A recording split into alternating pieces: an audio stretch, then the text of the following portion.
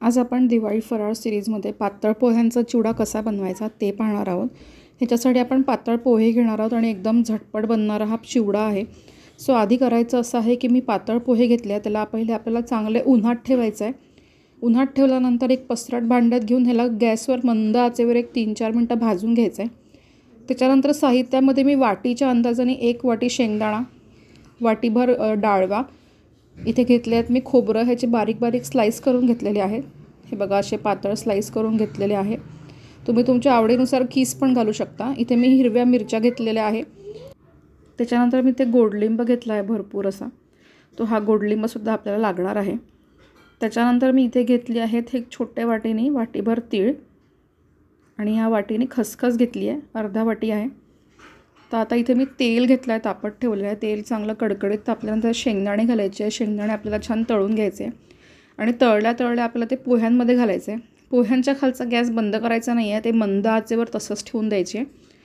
त्याच्यानंतर हळूहळू आपलं खोबरं डाळवा जे जे आहे ते सगळं आपल्याला तळून घ्यायचं आहे आणि तळून त्या चिवड्यांमध्ये घालायचं आहे पोह्यांमध्ये. अधेमध्ये पोह्यांना आपल्याला परतवत राहायचं आहे नंतर ते खालून करपतील. आता गोडलिंब घालायचं आहे गोडलिंबसुद्धा आपल्या तोसुद्धा आपल्याला तळून घ्यायचा आहे. हलका कुरकुरीत झाला की काढून लगेच आपल्याला त्या पोह्यांमध्ये घालायचं आहे आता याच्यामध्ये मी घातलं आहे मोहरी आणि जिरं घातलं होतं. त्याच्यानंतर थोडासा खडा मसाला पावडर घातली आहे मी. एक अर्धा छोटा चमचा त्याने चव खूप छान येते. खडा मसाला पावडरची लिंक डिस्क्रिप्शन बॉक्समध्ये देते मी तुम्ही चेक करू शकता. आता याच्यात मी हिंग घातलं आहे तीळ घातली आहे खसखस घातली आहे हे सगळं घालायचं आहे हिरव्या मिरच्या घालायच्या आहे आणि आज कमी ठेवायची आहे. आता हे धनेपूड आहे धनेपूड घालायची आपल्याला याच्यामध्ये. आणि परतवून घ्यायचं आहे आपल्याला चांगलं. आता याच्यामध्ये हळद आणि तिखट घातलेलं आहे. हळद आणि तिखट घालूनही ह्याला आता मंद आचेवर एक तीन चार मिनटं परतवून घ्यायचं आहे आपल्याला. तोच तर आपण आपल्या पोह्यांकडे येऊया. ह्याच्यामध्ये घालायचं आहे आपल्याला आमचूर पावडर.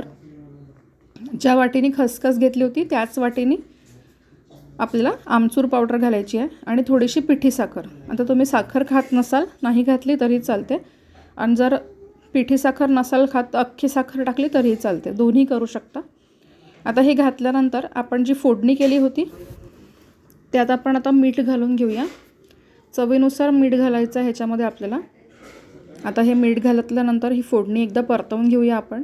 आणि गॅस करायचा आहे बंद. आता हे परतवून घेऊया. आणि गॅस बंद करून आता ही फोडणी लगेच आपल्याला या चिवड्यावर घालायची आहे. पूर्ण फोडणी ह्याच्यावर घालून घ्यायची आहे आपल्याला. आणि ही फोडणी घातल्यानंतर आपल्याला हे एकदा परतवून घ्यायचं आहे.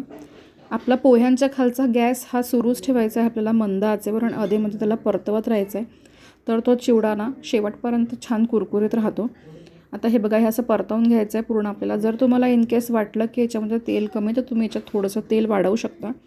आता बघा एक दहा मिनटं परतवून झाल्यानंतर आपला हा चिवडा अशा पद्धतीने बनवून तयार आहे. एकदम कुरकुरीत आणि एकदम कम तर असा हा आपला चिवडा बनवून तयार आहे. सो रेसिपी नक्की ट्राय करून बघा. चॅनलला लाईक आणि सबस्क्राईब करा. थँक्यू